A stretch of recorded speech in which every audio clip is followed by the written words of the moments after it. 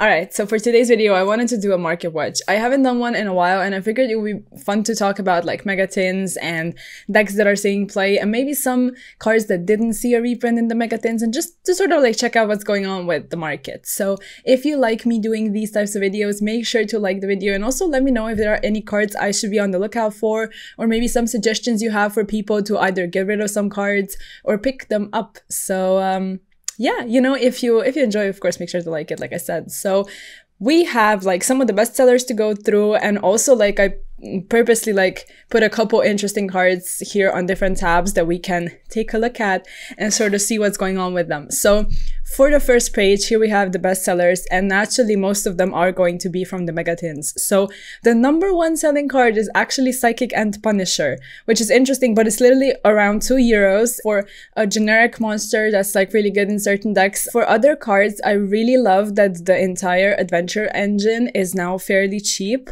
I mean, fairly cheap. it's literally dirt cheap, is what I wanted to say. Uh, Enchantress over here is around a euro or something like that. And taking a look at the Bystial cards, we have Lubellion at around 10 euros, and um, yeah, it's it, it dropped to about 11 or 12 euros. And from what I'm hearing, this is probably like one of the most expensive cards in the tins. So as you can see, everything is pretty uh, cheap in the tins, which is obviously amazing for some of these reprints. Now, Let's switch to the grid view and let's continue. Uh, Magnamhut and also Druiswurm down here, you're to be able to see when I scroll to it, if I can find it, is around four euros. Okay, I've gone way too far. We're gonna see a see a Druiswurm somewhere down there. But yeah, Magnamhut is around four or five euros. Regulus around five. Garura is still holding a price at around eight or nine euros, which is very similar to what it was on the release.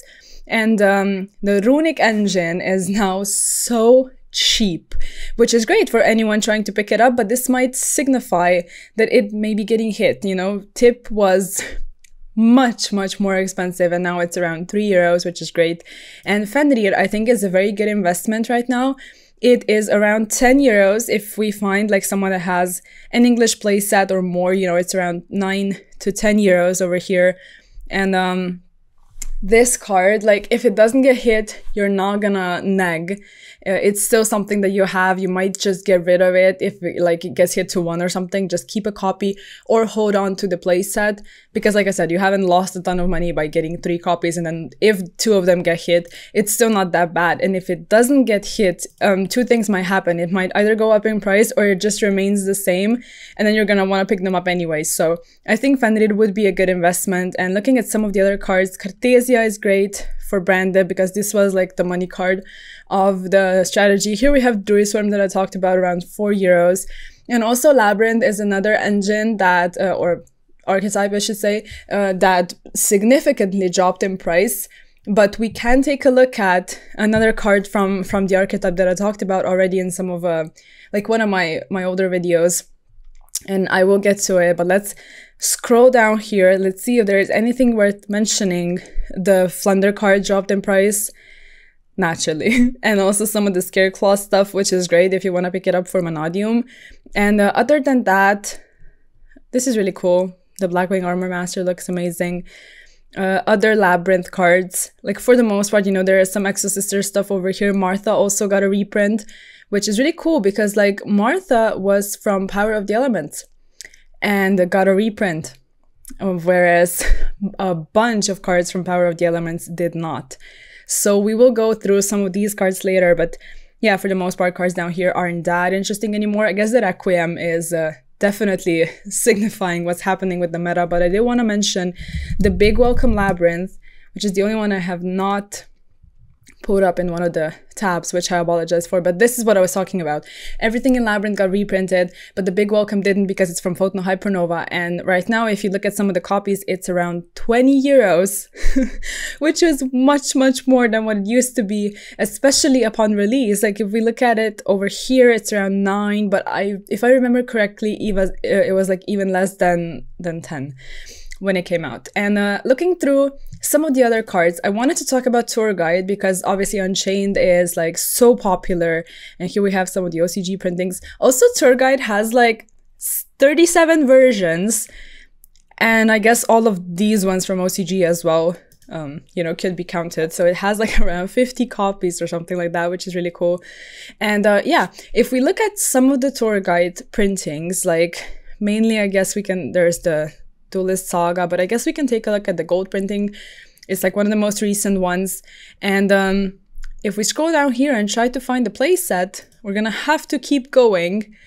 And uh, over here, I, I, guess we have one playset, someone with around 200, 300 sales, which is fine, but it is Italian and not first edition, and it's around five euros. So tour guides are around six or seven on average, and they are going up. And that's for like a random copy, literally from a gold set. So um, yeah, I guess we can take a look at another one. But what I'm saying is, you know, tour guide is going up 100% with uh, Unchained being that popular. So yeah, like around five euros or six. Um, you're gonna like for one copy, you're gonna have to spend um, for pretty much any kind of version.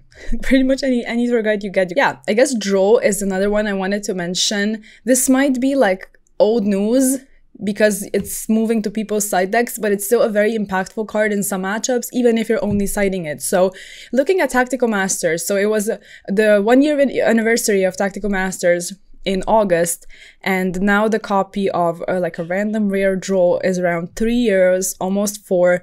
Let's try to find a playset. So over here we have someone with, okay, 700 sales, which is fair, around three and a half euros for draw. So it's like, it's a fair price, I think, for a hand trap you have to own.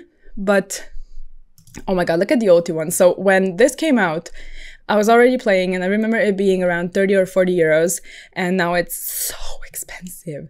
Like compared to what it was. Uh, obviously Joel is such a staple card, but I don't know, it's just, it's kind of funny to look at. And also like the common one, is again like look at this look at it. Look at this spike over here. I think it's so funny.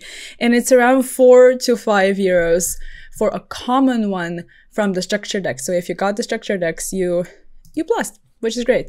Okay Perlereino is another one which is just hilarious to me. It was around 10 to 15 euros when i was talking about Tearlaments being a budget deck but that was a lot of months ago at this point. Um it was kind of like around the time you know Tear got hit. Nobody was really on the Tear hype train anymore. And now when people started to see how much potential Tear actually has, you know, there was like a random spike here, then it dropped quite significantly. And I remember it was around 15, and now it is steadily going up with Power of the Elements now receiving reprints into tins. So around 35 euros for one planet, which I'm not certain how much it used to be, but it was around 40 to 50 euros for one copy, if I'm not mistaken, when Tear was very popular. Might have been more. But yeah, right now um, you're gonna have to spend around 36 to 37 euros for one single copy if you're trying to cop a playset. So yeah.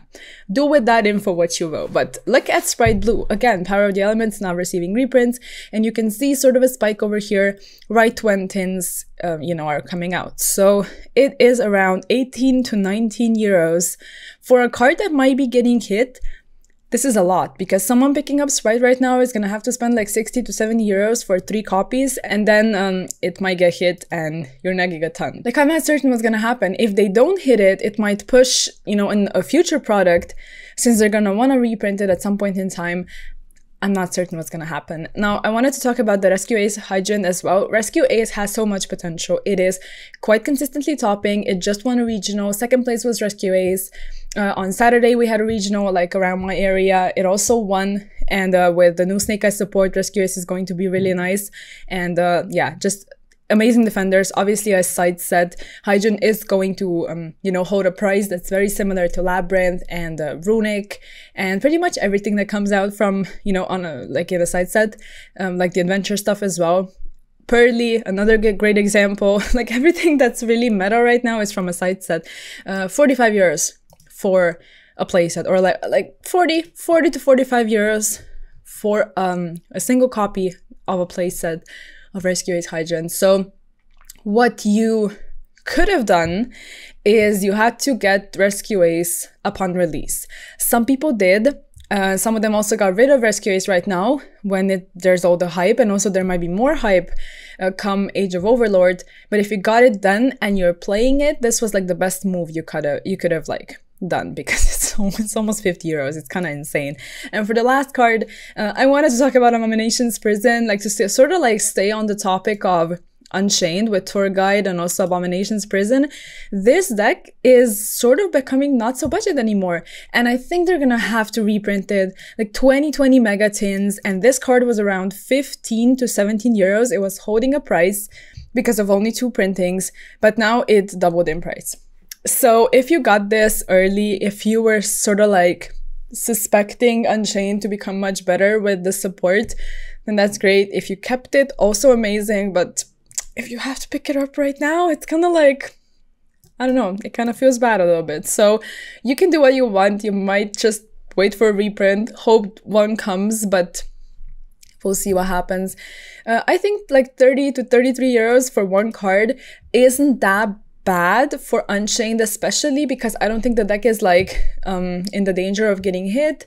It just seems like a very fair deck takes skill to pilot, so I wouldn't say it's horrible to invest in the deck. Maybe you already own like Tour Guide or have the engine from before, like I said. I think the deck has like a ton of potential and uh, it just seems cool. So if you want to pick something up that feels fairly safe and spend around 100 to 150 euros for the entire deck, I don't think that's that bad. Now you might disagree with me, but I'm not saying it's horrible. But if it gets a reprint, all of us are going to be much happier. So if you enjoyed this um, card market watch, please let me know. And also, like I said, if you have any of your own ideas for cards I, I should be looking at. Oh my God, I forgot one card I wanted to talk about and I did not put it on a on a tab. I wanted to mention Kurikara, another Power of the Elements card that I wanted to check out. So yes, look at this, around 40 euros for Kurikara, which used to be seven that's what I'm gonna leave you with. And uh, like the video if you enjoyed it, comment, sub, ding the bell, and I'll see you in the next one. Bye.